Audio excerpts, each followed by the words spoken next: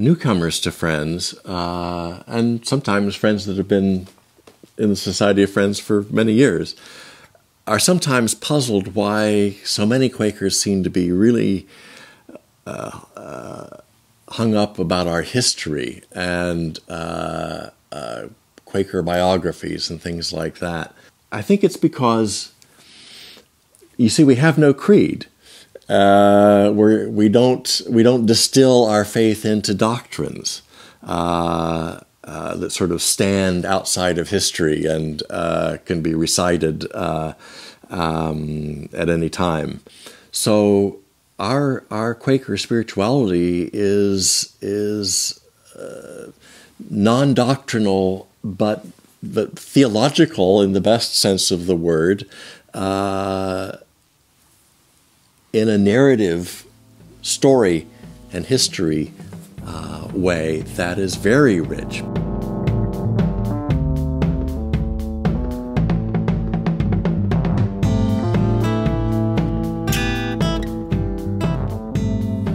I'm Doug Gwyn, uh, and uh, I'm a Friends minister, which in my life has turned out to be a Friends pastor, a writer uh, in Quaker history and thought, and uh, uh, traveling minister among Friends. If we have a theology, I would say that it's a narrative theology, which is a fairly contemporary uh, term that means simply uh, a theology or an understanding of God that that unfolds through story.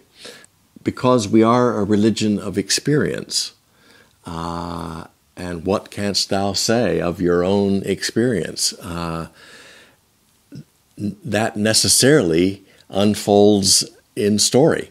And we read uh, the great uh, biographies or journals of friends often uh, uh, because they are they're inspiring stories and they they cause us to reflect upon our own lives and our own experience in in fresh ways that we might not have thought of otherwise.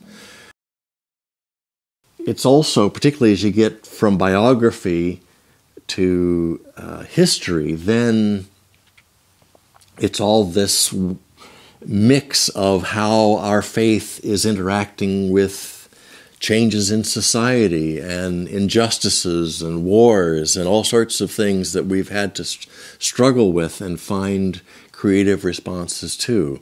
Or Quaker history can help us see, uh, look at a current dilemma of, for friends. Uh, uh, and see how previous generations of friends uh, responded to a similar dilemma.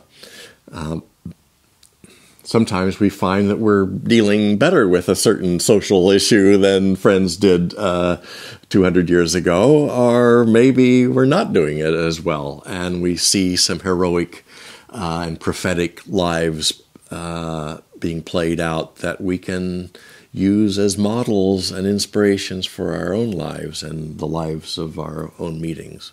So I think there's something very rich to being uh, interested in our in our history because Quakers have a, a unique trajectory through time, uh, and it encourages each of us to live our own lives more uniquely and spirit led